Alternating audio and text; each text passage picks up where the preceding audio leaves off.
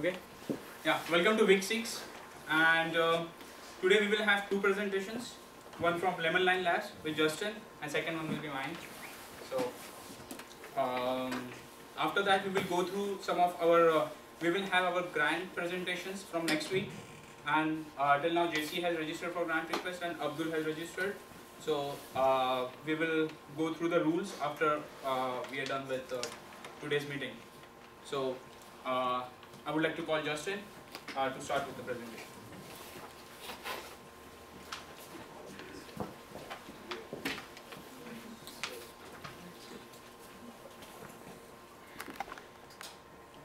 So to give, give you guys a little bit of background on what we're gonna go through tonight. So for um, this discussion, these are gonna be materials that were prepared for uh, the Accelerate Michigan competition. The first one will be a video, kind of go through and show that to you, and then also the, uh, the presentation. So there's a short presentation that kind of goes after that, um, that will be delivered next week.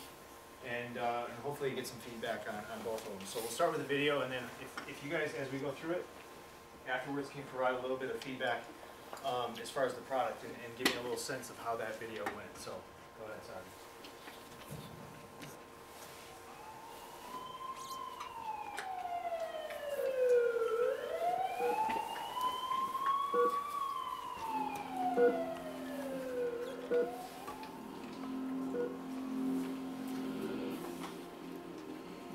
Advancements in vehicle design have reduced injury and death rates around the world. However, car crashes still remain one of the leading causes of injury-related deaths. Motor vehicle safety has gained public awareness, with manufacturers building components capable of saving a human life in merely a fraction of a second. Crash test dummies serve as a tool to analyze the effects of a crash event on the human body. To position crash test dummies within the test environment, researchers commonly use portable coordinate measurement machines such as articulated arms. Articulated arms are often expensive, bulky, and frustrating to maneuver. The inspiration for this project came after working in the crash safety field, and this work demonstrated an obvious pain point for many users. Our goal at Lemon Lime Labs is to develop a measurement product that is intuitive right out of the box, providing mobility and ease of use. This measurement system comprises of a base and a probe paired with a user interface. Multiple computer devices, like smartphones, tablets, or laptops, will display the digital position to the user. Both a proof of concept and a working prototype have been developed that remotely tracks the position and orientation of a handheld probe, providing real-time data collection. We are striving for a level of integration with mobile devices currently not offered in the crash safety industry, making the end user's experience easier. Our target customers are independent laboratories, vehicle suppliers, and vehicle manufacturers. The hidden in-process expenses that are often incurred during product development can be dramatically reduced using this tool. By offering accuracy paired with increased usability, we can positively advance the crash safety industry. One of the important needs in the vehicle crash test uh, industry is to be able to place crash test dummies in a highly repeatable manner from test to test. Typically what's done in the industry is to use either a robotic type coordinate measuring device or a laser device in order to get the dummies in the same posture and location every time. A portable wireless device would be a great innovation that would make this process easier and more efficient, especially in the tight confinement of a typical vehicle interior. Surrounded by expert advisors and industry professionals, we are building products capable of providing advancements for a wide range of industrial applications. Lemon Lime Labs, precision in every dimension. All right, so per Eric's request, um, can we get a little bit of feedback of what this product uh, is? What was your initial impressions of it? What what, what are we actually trying to accomplish? Because I think that this is something that, um, especially um, the, the people surrounded around me and have been involved in this project, you know, Tavakoli seen it obviously, have a pretty good idea of what this industry looks like. But to people that haven't ever seen it, what what impression does this really give? Does anybody have any feedback? I, I could tell that you were trying to measure something, but I didn't really know what you were exactly measuring. I just thought you were kind of, I, I would like an explanation of like what was actually being measured and how that was. So I think that what, what was shown up there was really just showing capturing points. It wasn't actually really There's measuring no anything, direct it was just application. showing, I guess, the environment that you could operate in. Okay. And, uh, the, the main goal though is going back to crash safety and positioning dummies themselves. So I think, um, i- in the follow-up presentation, we'll add, it'll, it'll kind of reflect a lot of this, and it'll go on and add, add onto that, and hopefully add a little bit more depth, but is there any other, any other feedback? Is it, I mean, is it totally, totally confusing right now? Yeah. I thought, I heard this already existed. I mean, do they, or is this a completely No. new product? This is, this would be new for the, for this industry, yeah. Okay. Well, we use a lot of CMM devices where I work, and um, a friend of mine that works there, he said they used to use wireless ones where he worked. I don't know what he meant by wireless, if it was a little device like that, but he did say wireless. So wireless would be, um, laser, laser systems. Okay. Is a lot of what they go to, so that's a line of sight system. Okay. So why wouldn't a line of sight work here? Is that your question? No, but it is now. We'll get into that later. Okay. Well, I guess, I think the one thing that would help though is, uh, when Valerie was measuring, if you would demonstrate it with a dummy in a vehicle and make, make the consumer understand why it's such a pain in the ass to use a Faro arm inside of a vehicle. I think that would have helped a little, a little more. Anything It a great device, otherwise it'd be perfect for what I do, anyway. Okay. Is this the PowerPoint? Sorry. Who has Is this? this- is this Yeah, PowerPoint? this is the PowerPoint. Okay. Okay, let, so let, That, prof- hopefully, that professor guy was great. Yeah, I mean, he was awesome. So, so we'll see if we can, we can kind of elaborate on his awesomeness and go from there, so. um, So, throw away the rest. can you? uh, It's not operating Yeah. now? So, kind of reflecting off of that, I mean, obviously, we know the crash safety industry is, is improving greatly in leaps and bounds every year. And one of the main unsung heroes from that is, is obviously crash test dummies. So they, they allow researchers, researchers to really take a look at the seat belts, the airbags, understand the interactions of those dummies with their surrounding interior environments. So when we're looking at just a dummy, this is kind of outside the vehicle, you're not, not in a tight constrained environment, how, how is this dummy positioned? We're looking for consistency and repeatability between test to test to really gain an understanding of how those tests have changed. We, you don't want this dummy just positioned anywhere here. So the way that's often done is measured off of these main points. So when we're looking at a three-dimensional environment, this is obviously 2D, but we're looking to position the hip three-dimensionally, cross car, front to back, up, down. So as mentioned in the video, this kind of shows the, the constraints of the arm trying to just measure out these points. So it's just trying to capture points in this environment, and actually this point it actually misses. It's not even large enough to capture that outermost point.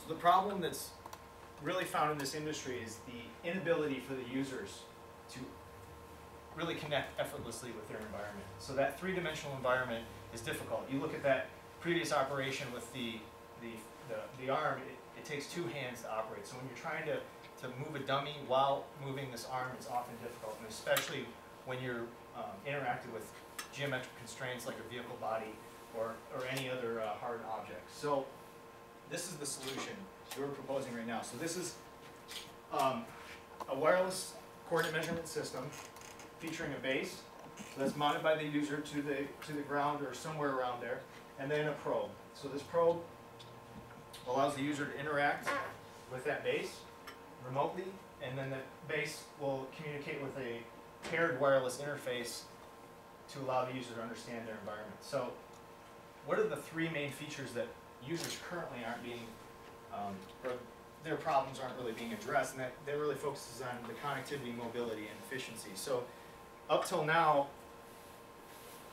researchers have made do with what's there, but these are the, the features that haven't been really addressed to their extent. So through connectivity, how can we address that in a way that helps the user? It's always focused back on solving the problems user. Intertwining the hardware and the software, bringing together a software interface that's designed specifically for an improved user experience. How do you make that user connected with their environment? How do you immerse them in that environment? And one of the ways is also to access it through a smartphone, a tablet, any other handheld device other than just a laptop. The, obviously, a laptop can be used now, but how do we make it just one more step ahead? How do we free them from the constraints around them? So the mobility, so that kind of speaks a little bit to that mobility of allowing um, no, you know, a wireless interface. That gives you user freedom. You're, you have a smaller package, it's a compact design that allows you to actually have easy transportation. You can take it into the field. That's really one of the main benefits. You can pack this up, you can take it on a plane, and you can go into the field and, and, and take uh, 3D point data. And then efficiency. Improve cycle time. So even speaking on the two previous points, all those are contributing to the efficiency. But the main, the main driver of that is the fact that we can add multiple probes to a single system, allowing multiple users to be operating all at once. So you can have um, several probes. Instead of buying multiple arms, you just add multiple probes. It's, it's a lot cheaper, and it allows the users to connect a lot easier. And they can all connect over a, uh, a mobile device platform, all communicating back to the main central um, data collection center. So if we take a, take a look at the graph as far as um, connectivity and mobility, how, how does, how does this system really stack up with, with the competitors in the field right now? So taking a look at articulated arms, the ones manufactured by Faro and Romer, they kind of fall a lot further down. They're not very well connected. They're, they're, wire, they're uh, wired, they often are hardwired, and they don't have the, uh, the mobility that's required. You have, you have a large, um, a large box that you have to transport around if you're trying to, to move it from uh, job site to job site. And then you look at laser systems. These aren't used as often in, in dummy setting, uh, mostly because of the line of sight. If you have a vehicle body in the way, it's difficult to do it. One of the most beneficial ways of using lasers is, is straight down the center, setting a dummy center line.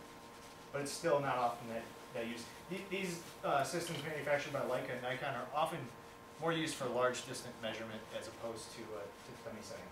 And so then, this is kind of where we'd be sitting right now. High connectivity, we can connect with a lot of different devices, and then high mobility. Now, that's kind of all speaking to the, the good. Maybe what's, maybe what's not so good about it. So if we take a look at cost and we take a look at accuracy and, and compare that, laser systems, highly accurate, but you also pay for it. And it's much the same for articulated arms. You're paying a lot for high degree of accuracy. You know, you have accuracy within uh, a human hair. Is, is that really what's necessary in the crash safety industry? Our answer is no. So one millimeter of accuracy is plenty for somebody that's setting a dummy to an accuracy of within 10 millimeters. That's plenty. And then at the cost point that they can come in at, that allows a low barrier to entry and allows them a, a lot easier a way of setting the dummies. So who are the who are the customers? Obviously, it's the crash safety industry. That's not hard to figure out. But who within the crash safety industry? So vehicle manufacturers, a lot of OEMs run multiple tests a year, uh, testing full vehicles and also on uh, on uh, partial body vehicles, and then component suppliers. So testing uh, child safety seats or uh, seat belts, anything like that, and then independent crash laboratories, just like the one over in the MOP, Barrett Ketter. So the crash safety industry is a niche market that's very small, but there's a broader market outside of that. So you look at the automotive metrology market in general, that's an $800 million market. But where do you go beyond that? Where's that broader market outside of the automotive industry? Really, it's going to machine shops. I mean, automotive is tied into this, but the machine shops and the fab labs really have uh, a need for some of this. For when you take and bring a product that is a low barrier entry, it's a lot more attainable for them to bring it in and use it in-house. So who are the key partners?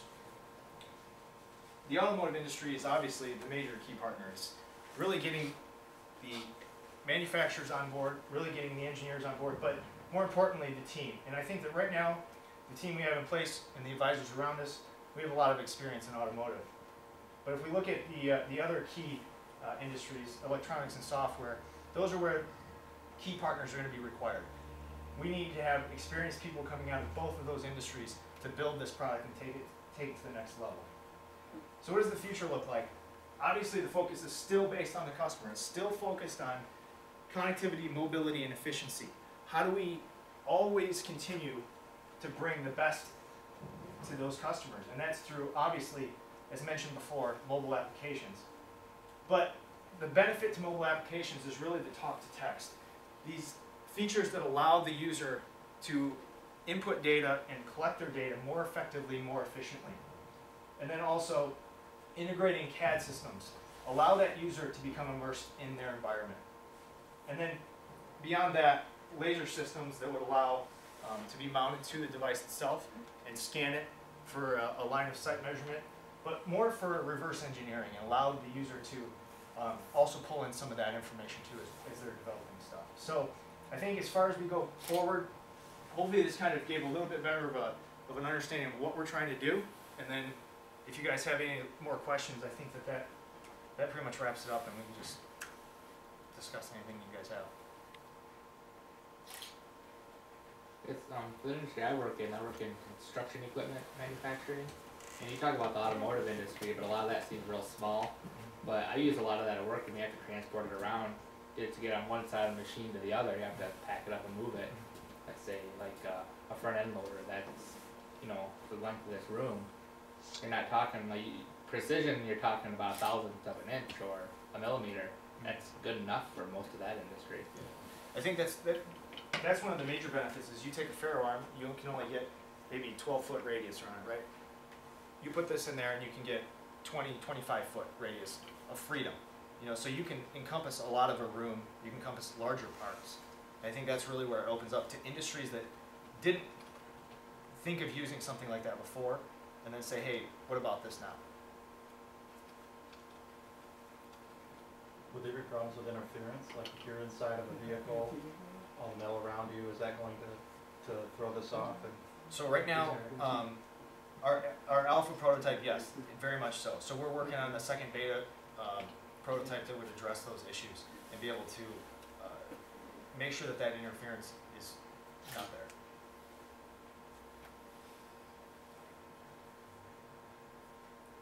You have a plan forward for that? Okay. Are there, so there's not software people on your team, is that correct? But your plan forward would include, Yes. Yep, it, it would, it would have to be integrated with very key software and key electrical engineers, yes. and at that time, at this time, you don't have that on your team, but, um, you're, you're working in that direction? Yep, so right now, I think that we're at the stage where it's, it's, it's gonna be growing and figuring out who those, who those players are for that team. Right now, the, the prototype that's been built up till now, hopefully can sustain it into bringing into, bringing investors on board, bringing funding on board that can help bring that team, team in. And you think you can overcome it? Yeah. Okay. Um, are there, are there exist, are there existing mobile applications for like something that's similar to this? Like other companies or concepts that are out there, just, do they have applications as well on phones or? As of right now, no. So they, Okay, they, so you'd also be the first one to Yeah. put it in the mobile, Yep. so uh, that would definitely open up the mobile industry that hasn't been, hasn't even been looked at right now. Most of their stuff is built, it's hard coded into their, their arms, so they'll have a flip out little touch screen, or they'll, they'll, they'll upload it straight to a, a laptop, but they haven't integrated it into anything beyond that. interesting. Can you explain how it would be a benefit to, to be able to use a smartphone to do this? Yeah, so I think that really the main point is if you looked at the Faro arm and that's that's uh, wired uh, wired up to the laptop. So if your if your arm's sitting here and for whatever reason you have your laptop over there, you have to walk back and forth to put in the put in the data. Really, what it comes into here is you can mount the base wherever you want, and now you're free to walk and do whatever you wherever you want to go. So if I'm walking up to this chair and I say this is chair point one, I take chair point one, it locks and loads the point, and it's registered that talk to text. And now chair point two, I just go on to the next point. Instead of walking back to the, to the workspace and constantly having to re-input data, that's where it allows you that flexibility to start working right off here, and then you can upload that data later when you're using it and analyzing think I don't really understand the, the process there, um, uh, what, what the need is for that. So you're not, you're not looking at your phone and, and it, it's not telling you that you're out of tolerance. It's Or, or you just, can do that, yeah. it's just a way for your, your device to communicate with, um, the software, a larger software package. Yeah, or for that, that point too, you can be looking at your phone and tell, okay, I know this point should be here, and it's not. So, yeah, I mean, and you, if you're not locking data, and you're just checking for, um, for accuracy and and consistency amongst a part run, then for that case, you're not saving any data, it's fine. But if you're saving data, you can be saving it off to a, to a system separate from the phone. I mean, like, is it? Not sure if like how to explain this, but like, how is it gonna be really difficult to have like this sort of like software? Do you do you guys know like if it's like how difficult it is to have it on not only your laptop, but have it with your phone and your you know, you know your pads or whatever. Like, It would does be, that require like a cloud cloud-based operating system? I mean, you have an answer to that? Um, well, okay, so that's gonna be like later stage, that's like maybe second phase, but the first phase is gonna be just simply having a desktop application. So right now, the Faro Arm in particular has um, a piece of software that has um, just a simple table and um, a graphing feature, or it doesn't even have a graphing feature even. It's just very simple and it has a live data box that has um, the points in X, Y, Z coordinates. But with what the, the first step would be for us is to implement that and then take it a step further maybe with like charting, uh, which isn't too hard, um, if, or graphing. But then the the next vision uh, is to make it into you know you have a cloud server that uh, you know has the database and anything that uh, you can save off your point data to an XML file or and load it again if you need that data for later.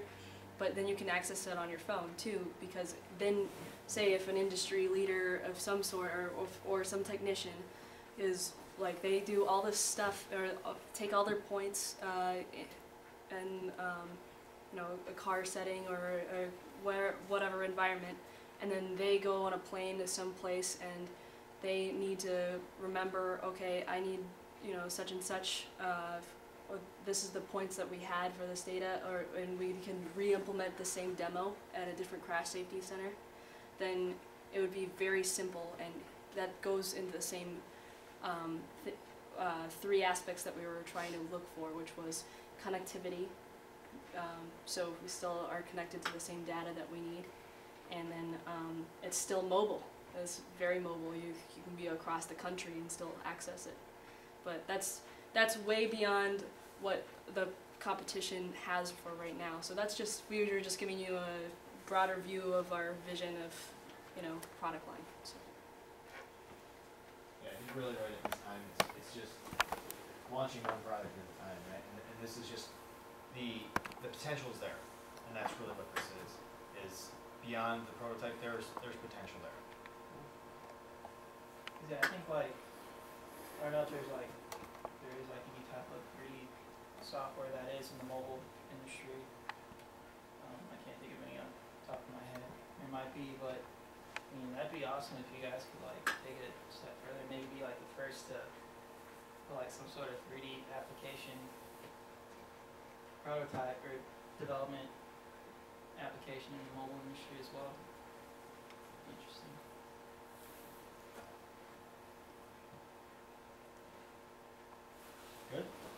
Is there, is there a way to increase the accuracy, like with multiple bases or something like that, or? Uh, that's something we still have to look into and we're still working on. I think that it, it, it would be, it would be coming down to something like that or the, um, or sensor sensitivity, just improving it. I mean, you can inject a lot of cost into it and probably get a lot, wherever you're looking at. But right now, just with that target, that's our one target. We're not trying to go beyond that. One millimeter.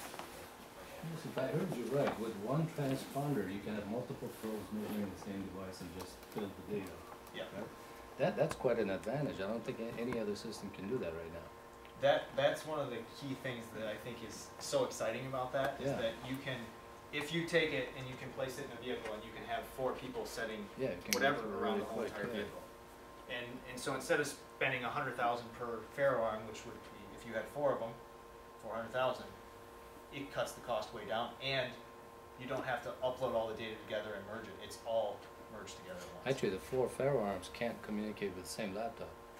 They would be communicating to a separate laptop. That's right, you can't, you can't You'd have to save off the data and then you right. have to put it all together. and they all have different reference Yep. points, so you can't even resolve that. Well, if you, re- if it's all, if they're all tied back into, uh, CAD data, that they know, they already know what the points they're referencing are, then yeah, you could, Then you could. you could, could overlay yeah, it. then you could. So you, you need to play that up. That's quite an advantage. I think really right now is a lot of people don't really understand that. Well, you need to make him understand. It's your pitch, right? Yeah. I think you, you, you glossed over that very quickly in your pitch. Okay. I think that's a huge advantage. Yeah. Uh, probably even more so than the ease of use of the wireless. So, of course, it starts with that. It starts Yeah. with, look, this is wireless, this is easy to use. And I agree with the comment, maybe in your next video version, uh, you know, Valerie should be working on something that's really cumbersome, Yeah. not, not just open space. Uh, but that's one, you start with that, but you immediately should move into, man, multiple people can communicate with the same cloud point, just dump data into it.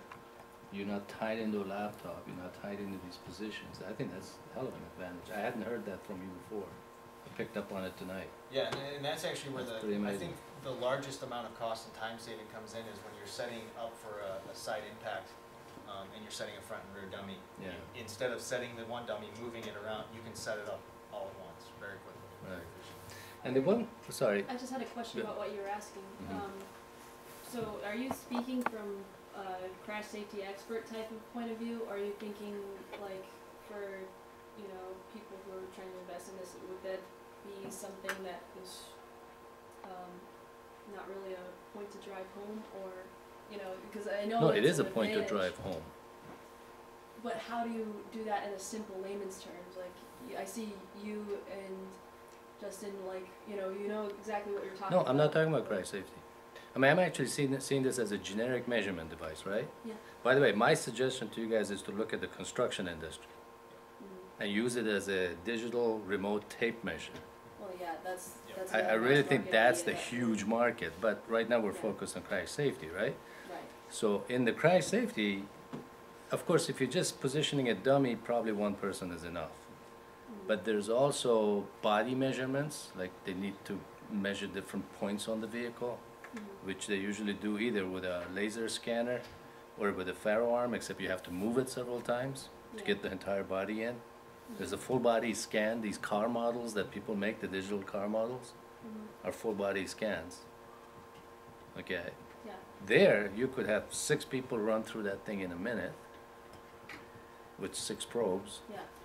instead of one person, you know, doing this. Yeah, yeah, it's, I think that's a hell of an advantage, that you can have multiple people doing the same thing, Yeah, okay? Maybe also look for another one, you know, positioning a three-dimensional object somewhere, if three people have to locate three points at the same time, so you can position it, oh, interesting. I don't know what the application would be for that, but one person couldn't do that, right? I mean, you would have to place it, oh, it's wrong, then you only shift it, so you place it, hands. it's wrong, yeah. That's, that's you know. problem we're also addressing. Yeah, you could dynamically do that if you had three probes at the same time.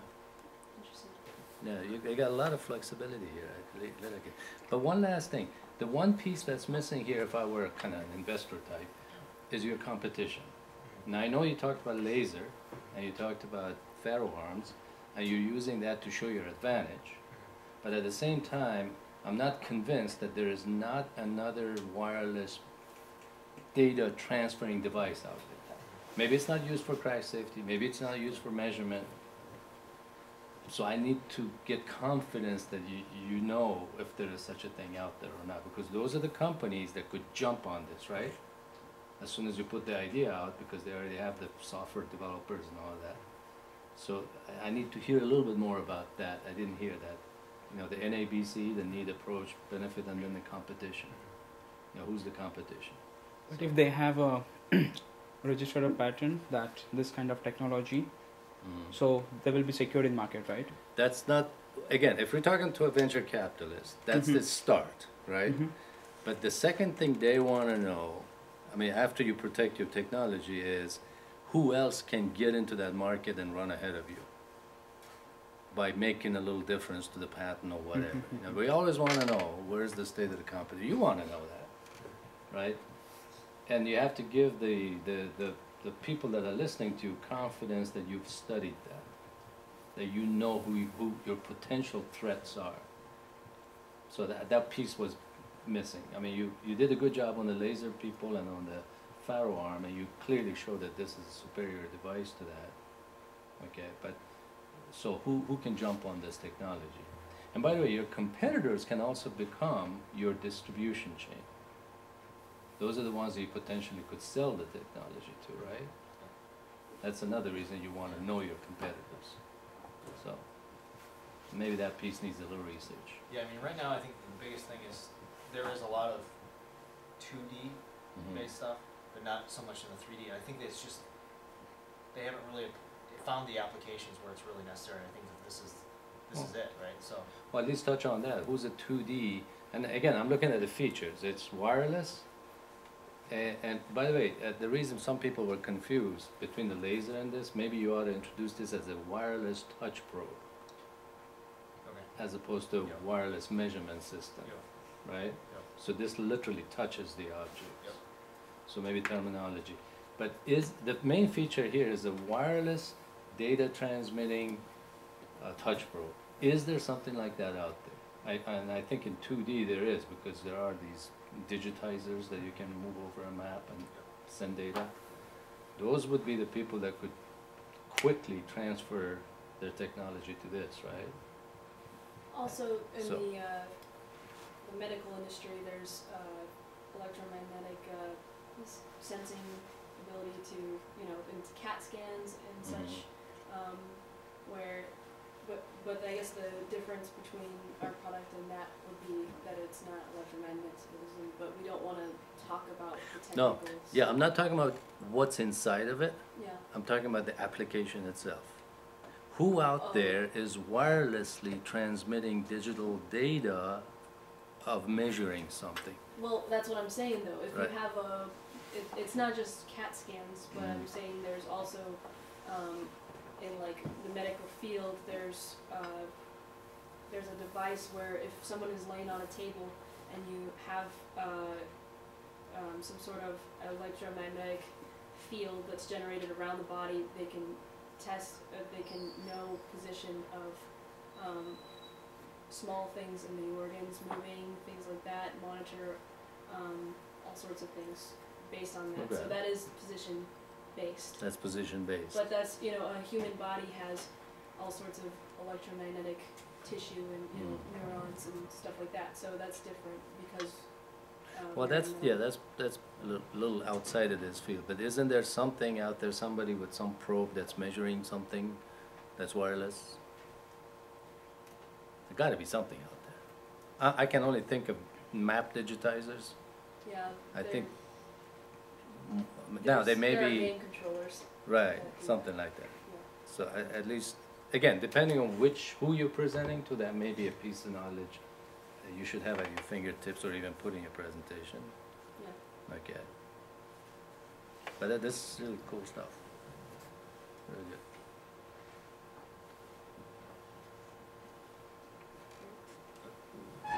Thank you, Justin.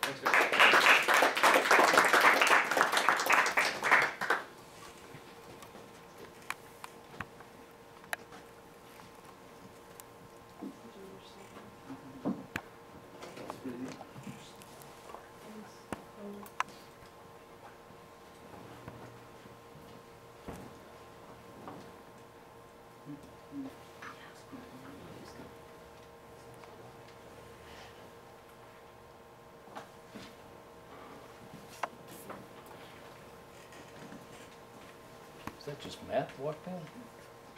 What's up, Matt? You're in town? Yeah. Awesome. Yeah.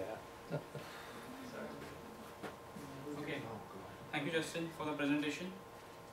And now, uh, I'll be talking about Credence Corporation.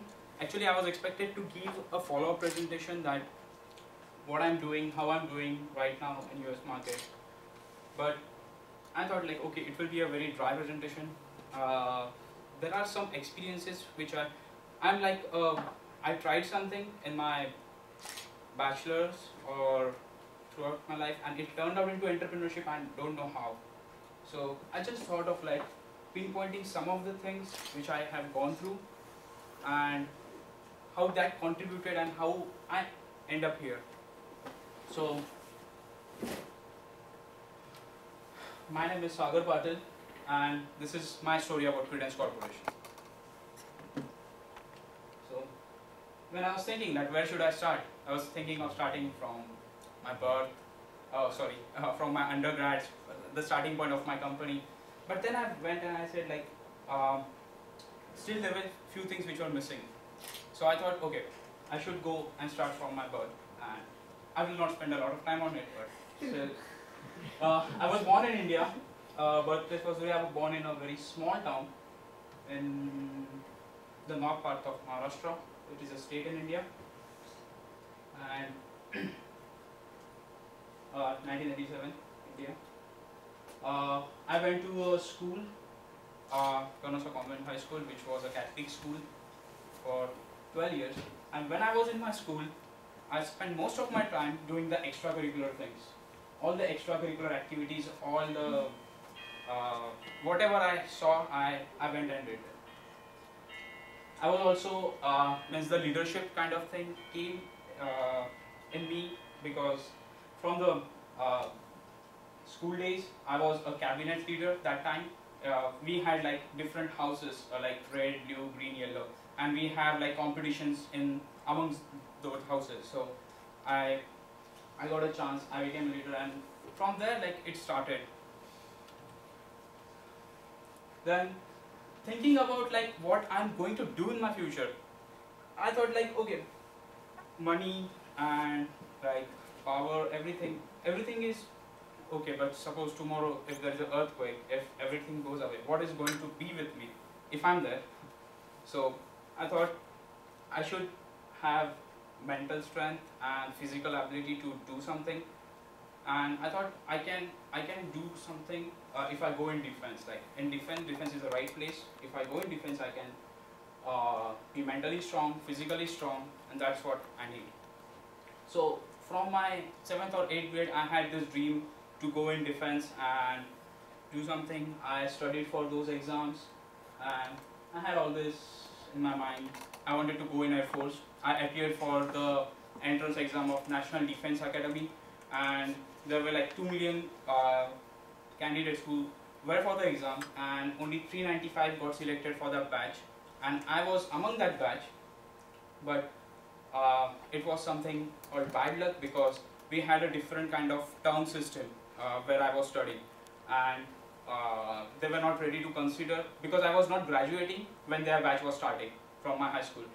So uh, but with that, like defense was the thing I wanted to go. So I also tried for Armed Force Medical College. I tried for College of Military Engineering, and there were some bad lucks that uh, after the interview I got the letter that you are selected uh, for the interview uh, when the interviews were done. So there was a lot of, and I felt like okay, now what exactly? Means I had planned this for five, four, five years in my life that I wanted to go there, and that was like a turning point for me that what I'm going to do next, and I was interested in automotives and aeronautics, and so I thought, okay, I'll I'll go for engineering. I'll do my uh, auto uh, aeronautics or automotive engineering. I talked with some of my guide, and they said that um, I should do mechanical engineering. That is better. It will form a base, and if I want to do automotive or aeronautics, I can do it in my masters. So then I uh, in my development stage in 2005. Um, till this time I was in Dhule and then I went to a city called Pune uh, to do my undergrad in uh, mechanical engineering. This is the photo of my university, uh, University of Pune. And I took admission in mechanical engineering. I remember the first day of my class when I went there, I uh, my classes got cancelled and I went out and I searched for which is the student organization, active student organization on campus. because I wanted to work and I wanted to do all the extracurricular work which I always did. So I went and I uh, found an organization which was okay. This is not good.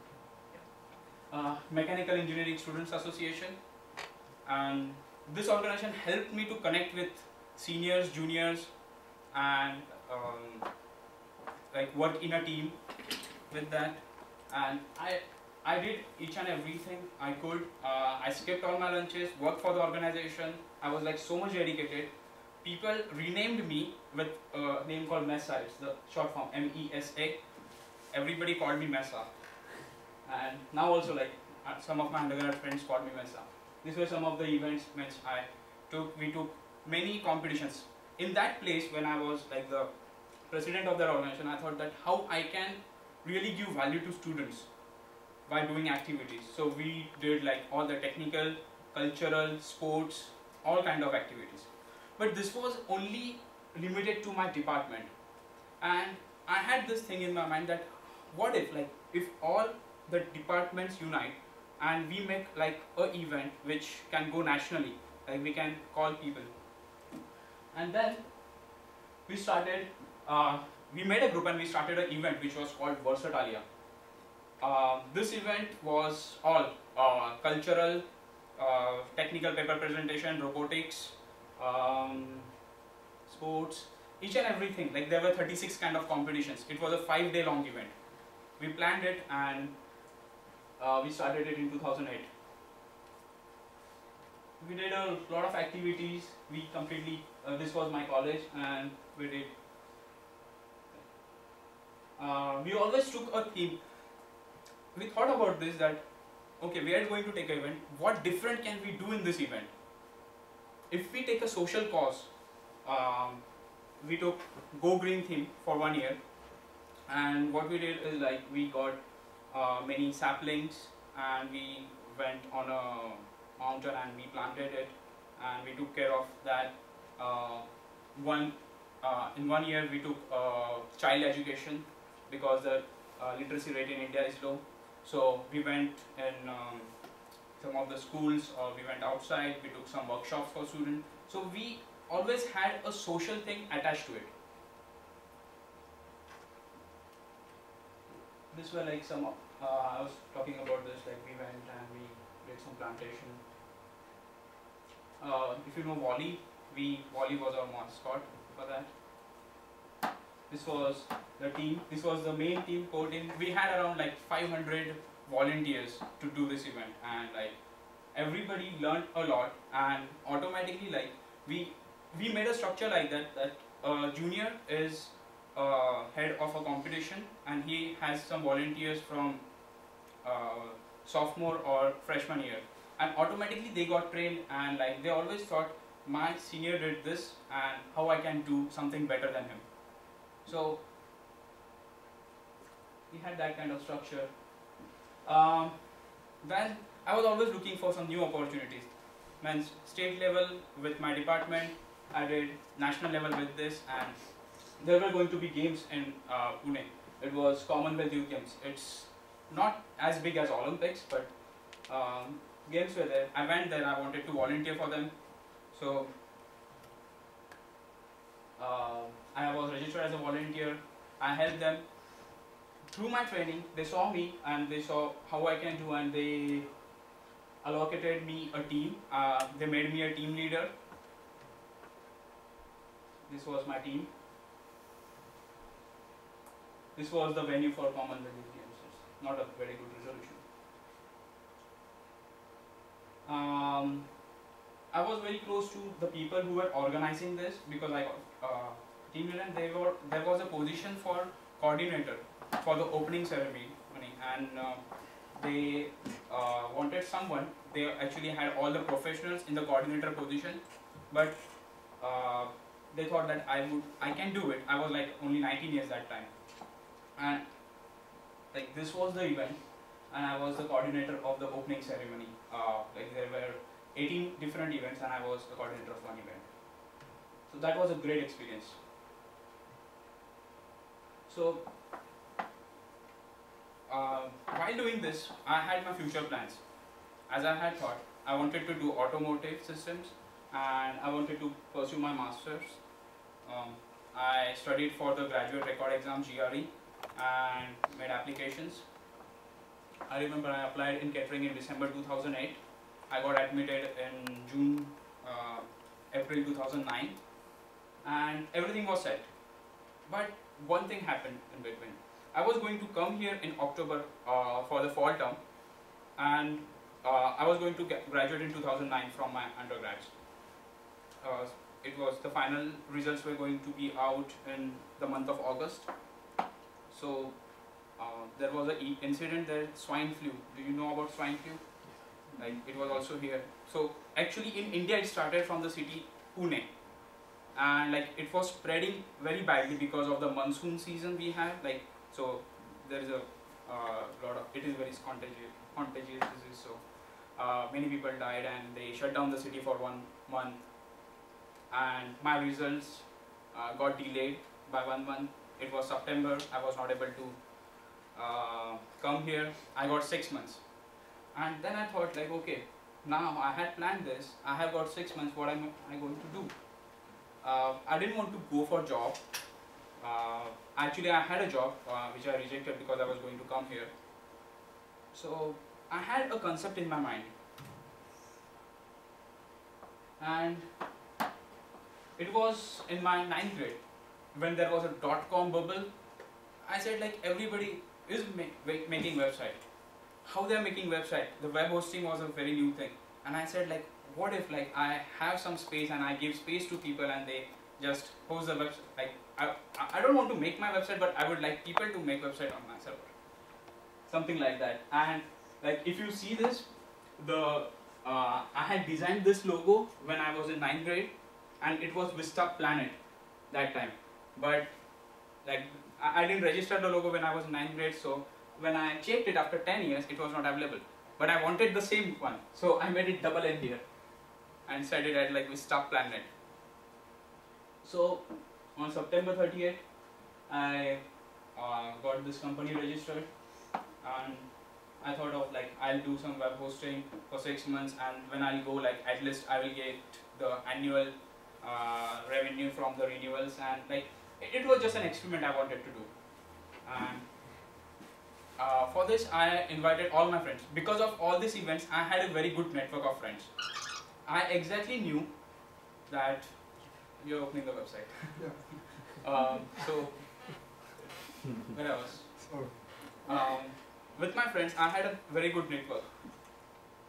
Um, each task which I gave to someone, uh, someone was an infrastructure secretary, someone was marketing, someone was. So we had a very good wavelength. We knew that what that person can do, and I asked them like, okay, we we can do this together, and I'm going to go away in six months, and you can continue with this and like add on services and do that. But most of my group was from mechanical initially because of the recession they said yeah yeah yeah that's very good because they didn't have any other opportunity they came in and they supported but as they got jobs some left um, and it was fine but there were a few people who were just there with me because i was doing well uh, and left me when i was not doing well.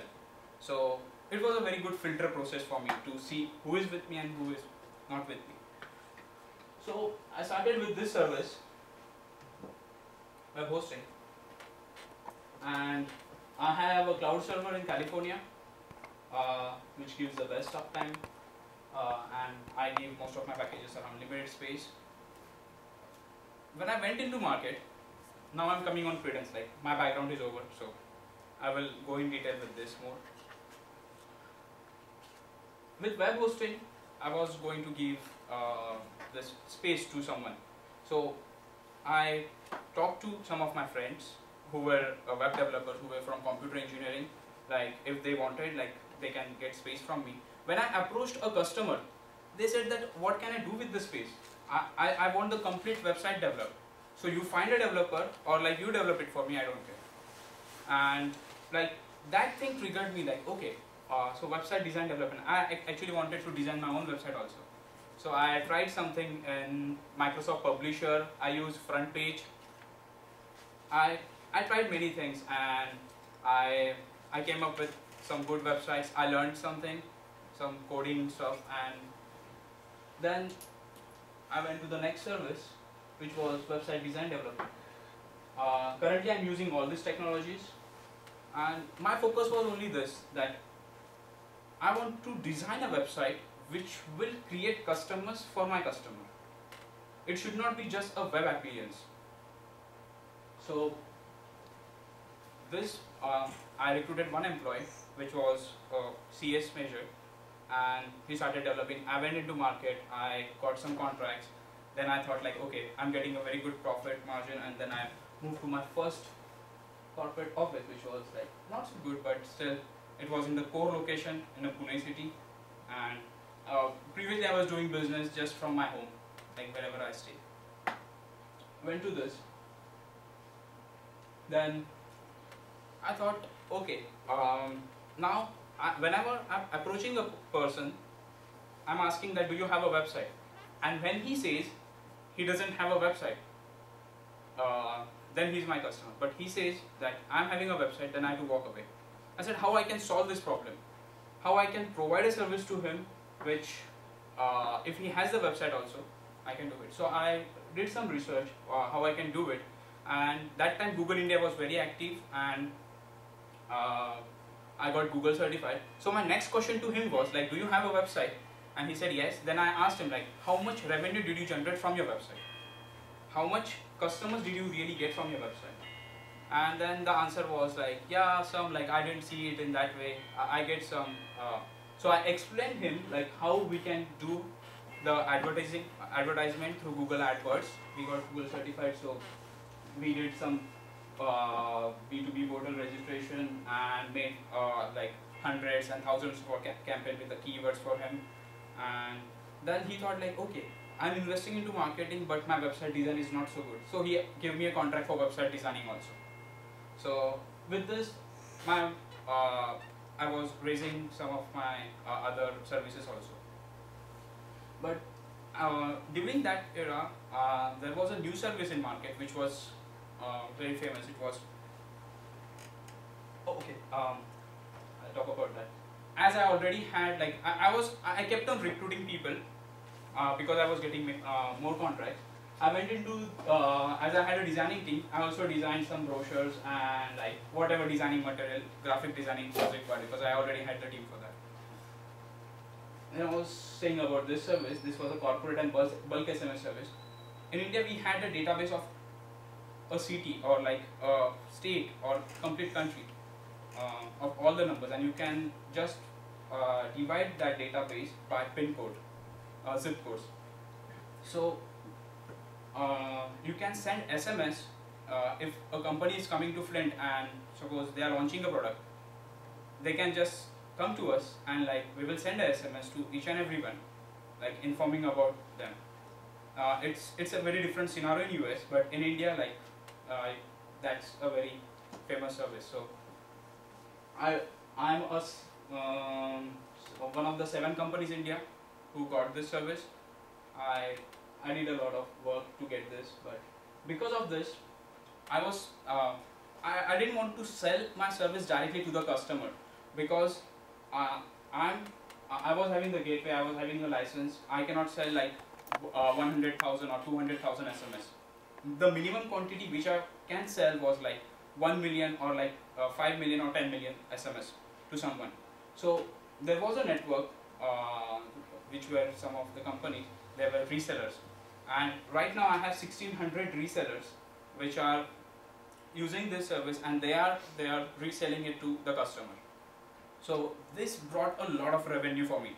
Uh, it was uh, profit margin was not that much, but still as the revenue was flowing in, and if you get like uh, a credit period of 15 to 30 days also, you have a lot of money to play with, and uh, that helped.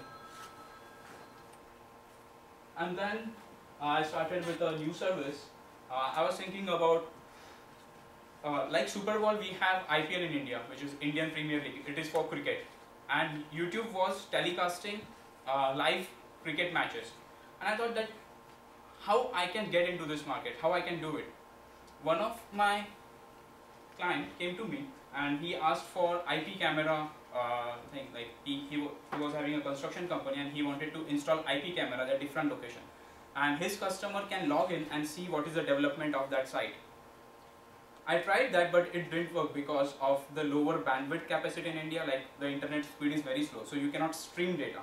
So that was the big problem and live streaming that's why uh, so I thought like how I can integrate uh, I have a cloud server. I have this. How I can integrate this and uh, start this service. And I started this and uh, like I was the first in the market with this and I got uh, many contracts and so this was live streaming. Then before coming here as I was uh, I had a group already of mechanical engineers who were working somewhere and we had a good network of people uh, in the market. Uh, we have worked with some industries for website design development. So uh, we started this CAD services and right now also we are doing good with this CAD services. Um,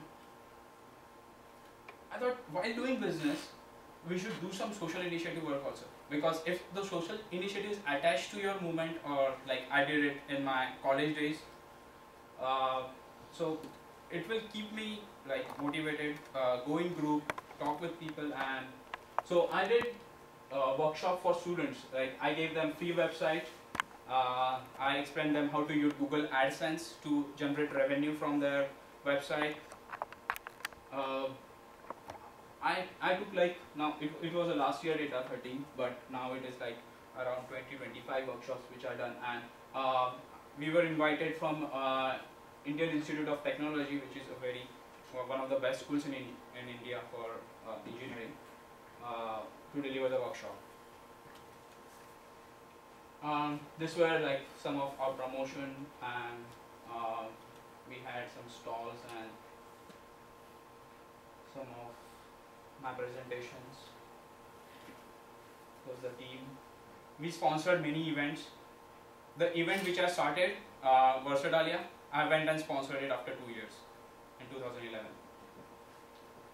So one day I was sitting in my office uh, because I had deferred, I kept on deferring my admission for masters. Is this it? Like, what is what is my future? What am I going to do this? Am I going to design website throughout my life, or will I be in this IT services? And I, I wanted to do something different, and I said like, okay, now this is a point. I should go and like get more exposure. Whatever is running, it was an experiment. Now I should stop here so, but I didn't want to give up uh, uh, whatever I have made. So I spent six months to stabilize everything and uh, see how it can work without me. And now, uh, like all my offices are working without me. I came here. I changed my degree uh, from automotive systems to engineering management because I thought that okay, I can do well in business. Uh, I, I have a passion for automotive which I can learn but if I take some business courses, that will be very helpful for my future. That's the area which I want to go now.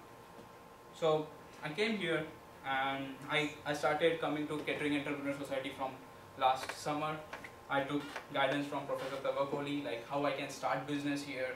There were like very uh, pro- uh, many problems because I'm an international student here. So I found uh, a person, um, Don Dawson, he's a good friend of mine and he also had passion like me to like do something different and we started Credence USA Credence Corporation in USA and got incorporated in October 6th state of Michigan and it is as a C corporation and we did some projects uh, I think it's, it's because of me I didn't do it properly so it's not a effect um, we got some projects about e-commerce and all that. Uh, this was the website, uh, which, which was Smart Energy Solutions. It's in the west part of the state, and we re- redesigned the website, and this is how it looks right now. This is our first job in US, which we did. Then we did the website for campus printing here. Then uh, there was uh, if you were here in springtime, you know my life secret. Uh, My Life Secret had a website and they wanted to redesign everything. And this is the new design. Sorry about that. Then this is under development. And other than this, like we got uh, many marketing. Uh, we did some graphic designing work because I was working with uh, campus printing and he had many people coming in. They wanted the graphic designing stuff done. So I got many graphic designing. I did a couple of live streaming contracts in Paris, Michigan because of Don's contact. And uh, I did some web marketing jobs for uh, campus printing as well as for uh, the smart energy solution. And I started my operations from January 2012, though it was registered, but I was like preparing for everything. So till date, this is my like, overview. Um, currently, like uh, including uh, India and US, I have around uh, 150,000 uh, turnover. Um, it's 125 something, uh, 2025 in India, and rest is US. Total workforce of 35, including me. Uh, Vipul is my uh, director of operations. Don is director of marketing and sales, and I have one more person in Washington DC who is uh, working as a regional manager. I'm trying to get some live streaming contract for George Washington University. So this is the current stage. I want to take credence now. I have a platform set. I have a very good portfolio um, of what I have done here, and the next stage I want to go is to go into manufacturing or industrial. I have done mechanical engineering. This is not. This was just out of interest. So I want to start something, and that's why I want to work somewhere before I. So I'm in the exposure stage right now. So um, I thought that this would be more valuable to the society, just uh, showing like what I'm doing now, how many projects I got, and what is my overview. So this was my story. Thank you.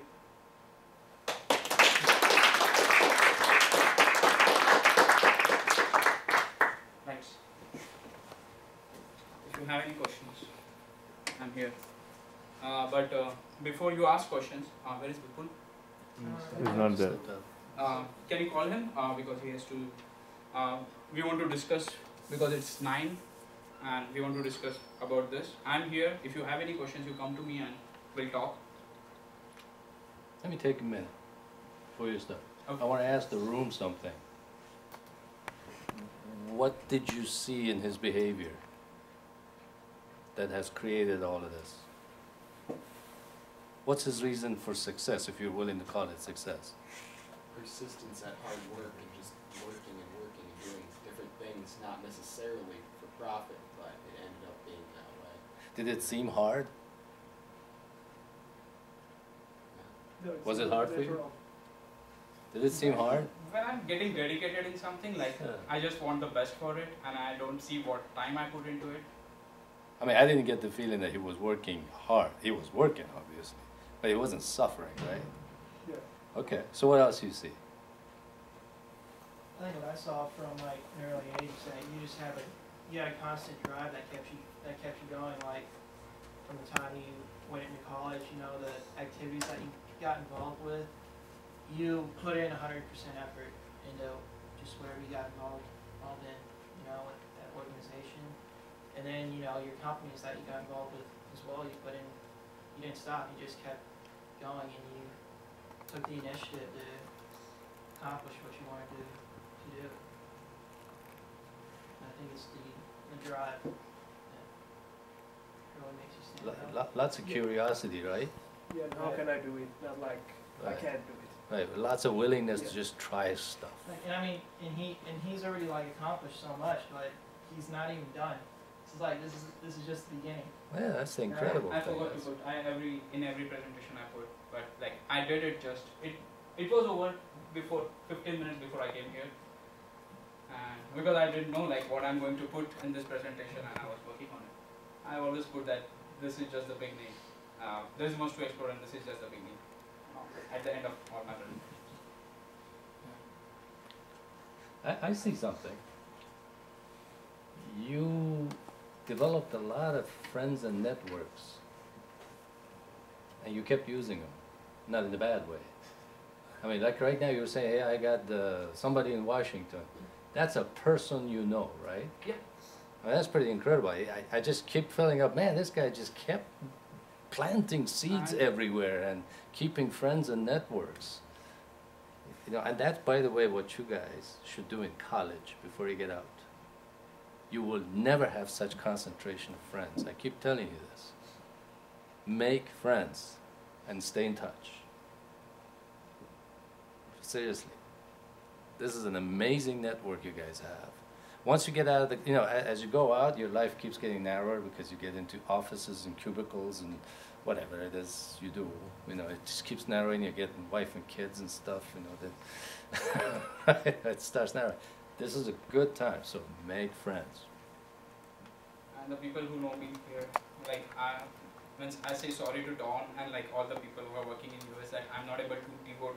I'm I'm devoting only like one or two hours now, like per week to Credence USA. I'm not at all like I'm not getting any time right now. But I said like this is my last term. I want to do KES because uh, if I'm not able to do it, then when I'll do it in my life again. This is I'm not going for PhD anymore, or I, I won't be in school. So, student organizations was always where I wanted to be. That's good, man.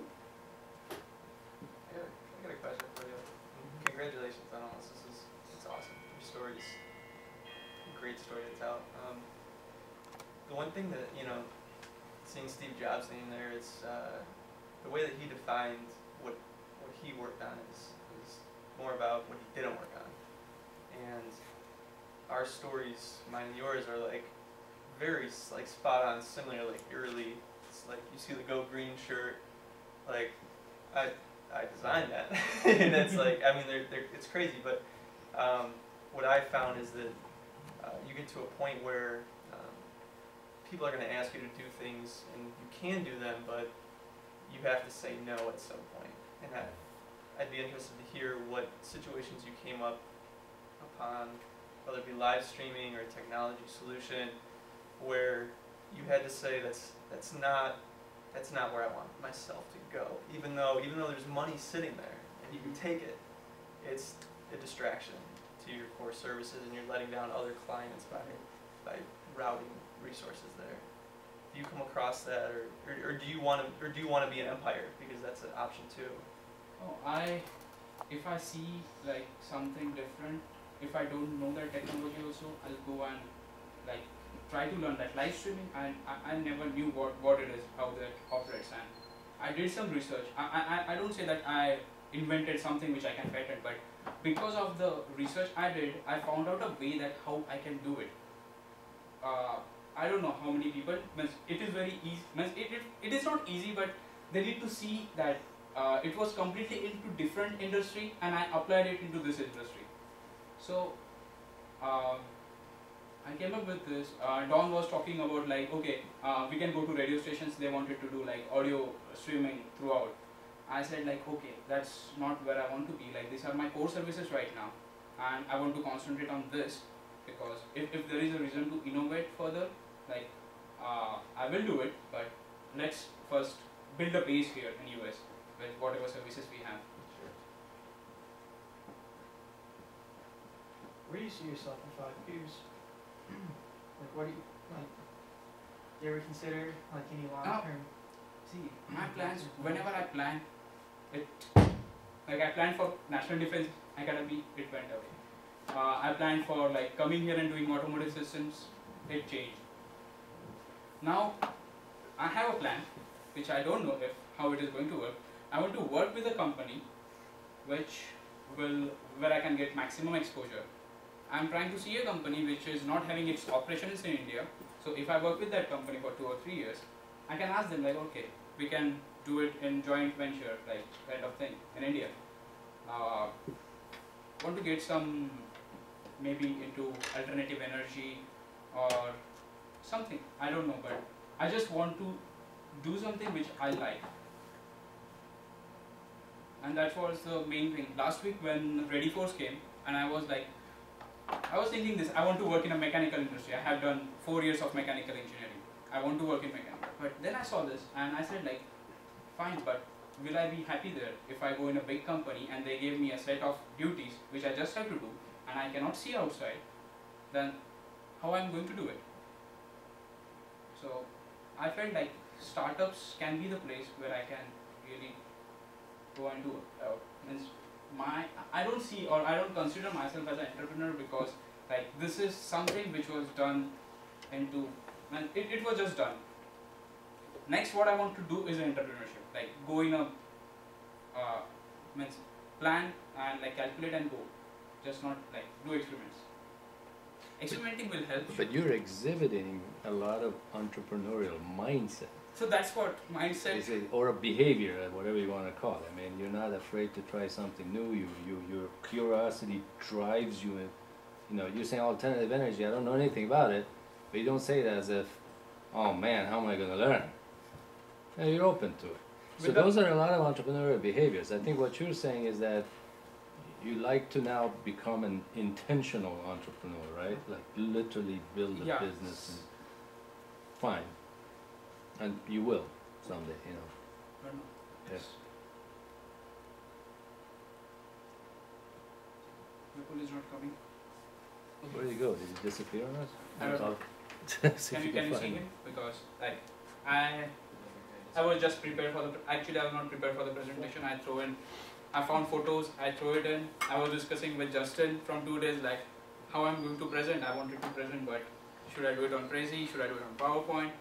What kind of presentation I'm going to go and like I just came today 3 p.m. I got the idea that okay I'll, I'll do this kind of thing. So for the seed grant, um, um, apart from this, what do you think can be a next step for Credence right now? I have built a good base. Uh, I want to go further, use my services. I'll get some time after this maybe. Have you gotten any offers from like any larger companies that want to buy you out? Actually, one of my uncle's company wanted to buy me out. No, like they just wanted to because I was going away and they said like they wanted to get a and they offered me a deal, but I didn't go for it. Right. I mean, like, it seems like what you've done so far, you have like all these different components of your business, and you want to keep doing more. At the same time, you just you want to put, you feel, like you said, like you're sort of down about not putting that much time into it. And, and have you considered just like maybe selling it or handing it off to some somebody and then moving on to something? No, there are two things now. See, uh, I like to do new things. Right. Uh, when I was doing, if, if I went to SMS, if I went to live streaming, I was working on that. But I made sure that if I'm moving to that, this is not going away or like it, it is not giving a poor quality. I I made it sure I, I kept people who can. Now when I came here, I would have just given the company to someone to handle. I sit at night because India and US is in completely different time zone, and I monitor the operations at night. What is going on? What's not like only the main things. I have office managers who report. I have done a reporting structure. So you have to also see that you maintain that because then the business will go down and the name will also fall apart. I'll, I'll, I'll lose my image in market. So I can't do that. Means if I have started Credence Corporation and if I'll close it one day but I'll never sell it. Do you, do you think you're a, there's, there's something you call a genius leader, and it's a type of person that the business only runs if they're in charge of it? Do you consider yourself, do you consider That- Corporation that type of business? Uh, it happened. In one year, I had a turnover of 100 uh, 100,000. When I came here, now they are just there is no innovation, and you know about IT industry because you are in IT industry. Like every day it is changing, and if you cannot update yourself and provide new services, like then you cannot charge that much for them. And in India, the inflation rate is going by going up by 10 percent every year. So I had to give hike to each and every one in six months, all my employees. So if you see my profit is squeezing down, but still I'm trying to maintain it. Uh, the bulk SMS service because now government has imposed so many rules on it, the bulk SMS uh, is going away. So I'm facing all these problems right now. But still I think like okay, uh, if not in India, how I can have maximum international projects and cover that thing.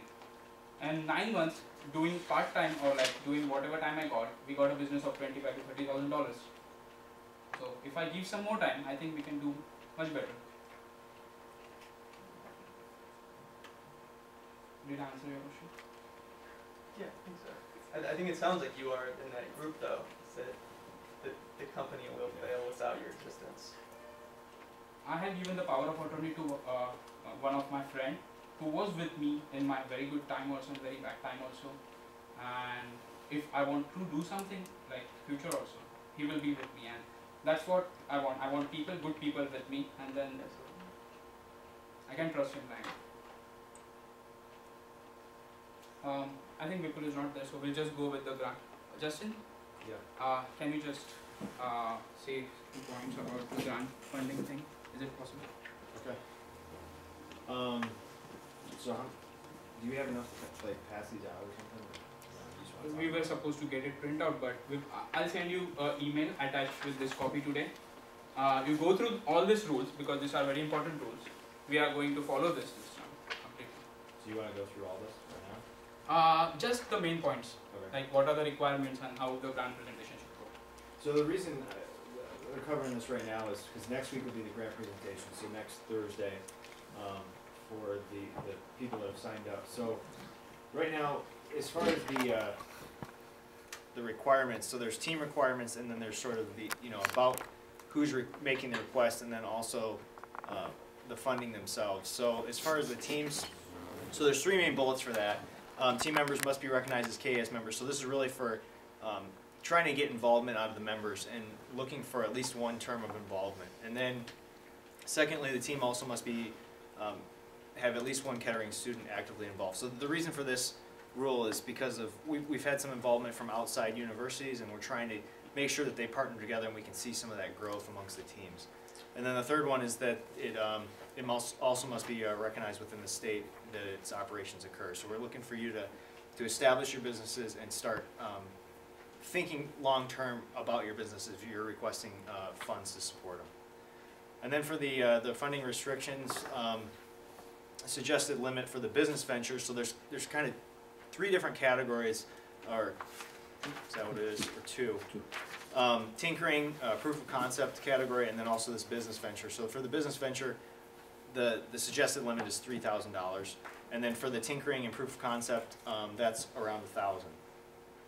Um, as far as what's not funded, previous, previous expenses, so the way the funding process works is that you pay, you, you go out and purchase the items that you're looking to, to, uh, to acquire, and then the society reimburses you after. So we're looking for the learning process to be involved throughout this, and that's the reason for the previous expenses not being funded. Um, and then also that items deemed capital goods, uh, capital goods such as laptops, um, you know, any sort of thing that you can take away from the business and walk away with, um, we'd be funding at a fifty percent match. So you put in fifty percent, the society puts in fifty percent. So one of the things that I know that Tavakoli wants me to tag onto this, um, as much as it pains me, is that every single one of these is up for petition. So Still pains you? it does. So, um, so when you're up there presenting, if, if any one of these items you wanna, you wanna try to sway the society's opinion to, um, I don't, well, I don't wanna say violate, but to, to maybe go around some of these, you need to provide a very good, um, saleable case for why you think that it's, uh, applicable for your situation. So let me justify why Justin and I have had this difference opinion for years, seems like. So, you all are all aspiring entrepreneurs. One of the primary, essential talents of an entrepreneur is to convince others of their opinions, their ideas, their passion, their plans, and take their money. So, that's why I have always resisted making rigid rules. However, we gotta have rules. So we put the rules, then we put an asterisk on everything, is that if you think that you ought to break these rules, convince the society. Okay? So that's the essential reason, as opposed to just saying, this is it, take it or leave it. So we're leaving that door open uh, for you to say, for this reason, I think I should be an exception to the rule. And if you can convince your peers, well, then you're a good entrepreneur. At least you get a good start. And believe me, I've sat through this room for six years now, and you, the evaluating members, can see through everything. You really can. Collectively, you can see through everything. And you always give good advice to the people that are asking for those exceptions, and you invariably, if they're willing to listen, you know, after we get over our emotions, if they're willing to listen, you improve their ideas for them. That's what the society is really about. So it's not about money at all. It's about improving. So that's why kind of that asterisk has always been there. And Justin nodding his head, says, that's not a bad idea. And then next week he'll disagree with me again. No, I just not. Just go along with Okay, it. man. I quit fighting it and just let him explain it every time. Um, so I like it. So after that, going forward, so the way the rest of this term is going to look out for as far as the seed grant process. So we have week seven, week eight, and week nine. So week seven next week obviously will be the presentation. So we're looking for um, the 15-minute presentations from each of those teams, followed by 15 minutes of discussion.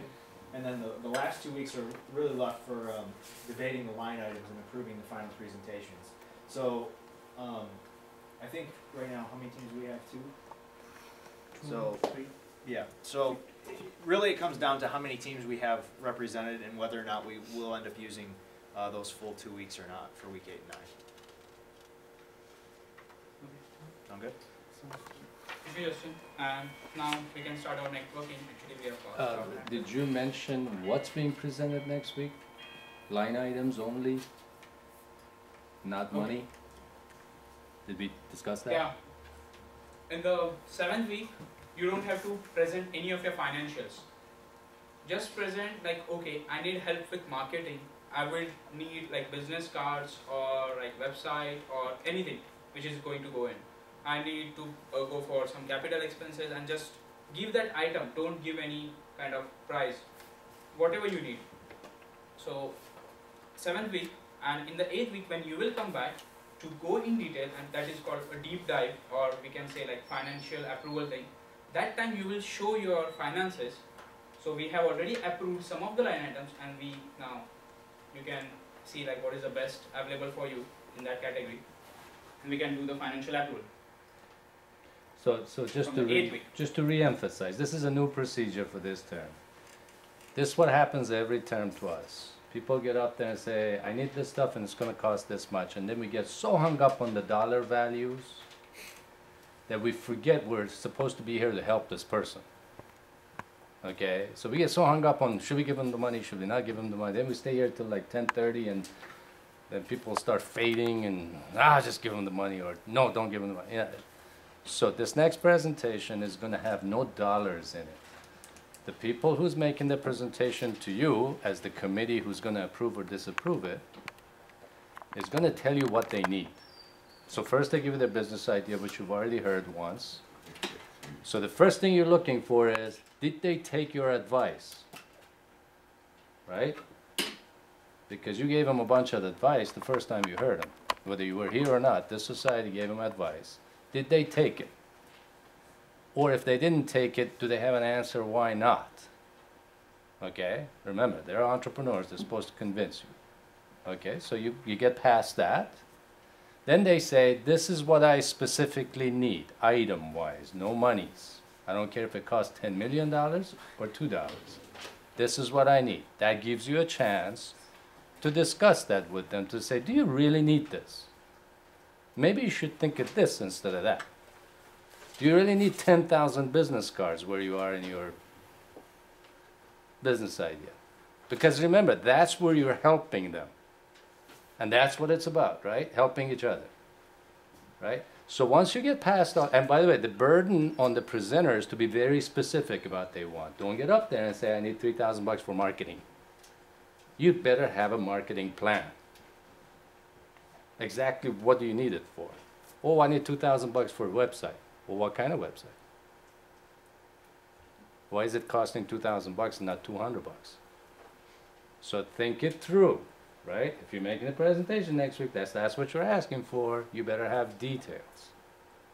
And then the society will decide if that makes sense for your business and all of that, and great, approve, disapprove, whatever, right? And some suggestions, and then they come back next week and they tell us how much it really costs. Okay, and then we say, oh wow, okay. Whatever. okay, if it's too much, too little, we'll work on we'll work through the dollars. But remember, the, again, the, don't forget our prime objective in this society is to help each other grow our ideas and get better at thinking like entrepreneurs. Money is always secondary. So we don't want to get hung up on it, but we have our limits and limitations and budgets and things too. Right? So that's what we're doing. This is the first time we're trying get that way. This process every term evolves and improves, in my opinion, but it, every time somebody comes up there, they challenge us with something we didn't think about. So we kind of react to that and try to improve it without shutting people down. Like, for example, one of our criteria is that you have to have been here at least one term, right? Why is that for? Well, because we've had situations where people showed up here two meetings and asked for money on the third meeting, and we don't know who they are. That's not the primary negative. I mean, it's okay, it's better for us to know you.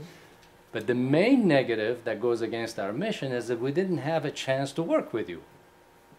So we didn't get the benefit of your experience, and you didn't get the benefit of our advice. So if you've not been here for a term and you're going to go up there and ask, you better convince the society why you're there.